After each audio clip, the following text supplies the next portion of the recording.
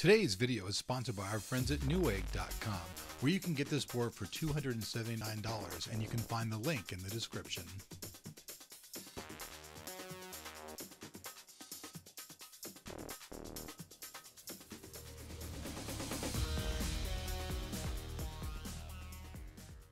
Hey, what's up out there in YouTube land? Elric Ferris, editor-in-chief from Motherboards.org, and welcome to our YouTube channel.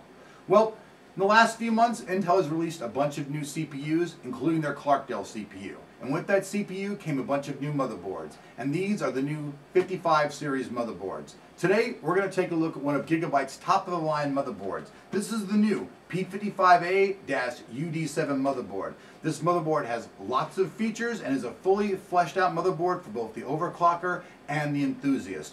Follow along as we show you the specifications, how fast this board is, and whether it's worth your money to buy as the end user.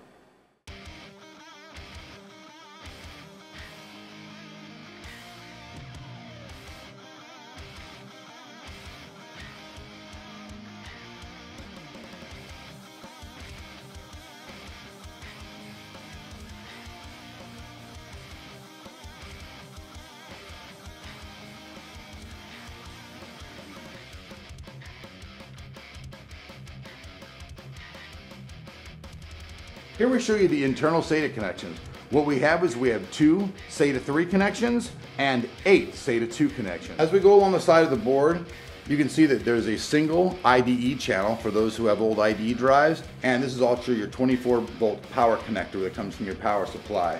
Following along, you can see that we have four slots of memory. So this memory runs dual channel memory and you can use up to four slots and up to 16 gigabytes on this motherboard. What you have right here is your first your COM port. This is also a system fan for plugging one of your fans in your system which can be controlled by the motherboard itself, followed along with a floppy disk drive connection. You also get two USB 2.0 external connections here. Starting out here, you get a standard PCI slot and another standard PCI slot. The bottom lane right here is a PCI 8 lane. Then you've got this lane and this lane, which are also PCI X16, and this lane, which is again PCI 8X. As you can see also, there's a cooler over here that's cooling all the chips on the south side of the board to keep the board running cool. Um, I'll pull this up a little bit closer. This is a very interesting part of the board.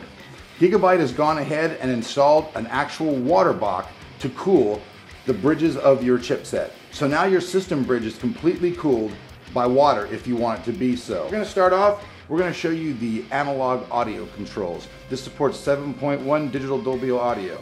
Then we're gonna move over, you can see that you have two LAN ports. Below the first LAN port is the USB 3.0, followed up by the standard USB ports. You have a USB slash eSATA combo. Followed by that, you get the digital audio, which supports both SPDIF and coaxial. Then over here you get a little legacy drive. This is both for your keyboard and mouse, so you can plug either a legacy keyboard or mouse into this port.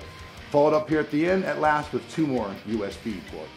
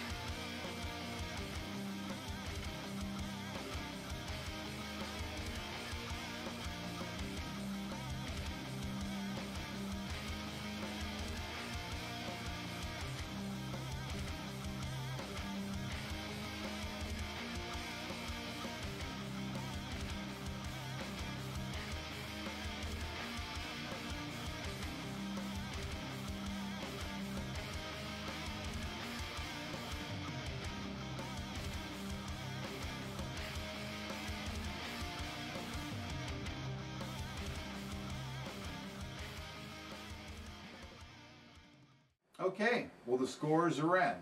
And as we can see, this new Gigabyte P55A-UD7 scores in the top percentile of motherboards based off this type of chipset. Um, this motherboard itself is based off a high-end chipset, so it doesn't have integrated graphics like some of the other boards do, but this board has lots of features. USB 3.0, SATA 3.0, two ounces of copper to keep the board running clean, along with all its phase power conditioning stuffs. Overall, for all the features, speed, and things you can do with this board, I give it a solid editor's choice and thank Gigabyte for participating in this review program.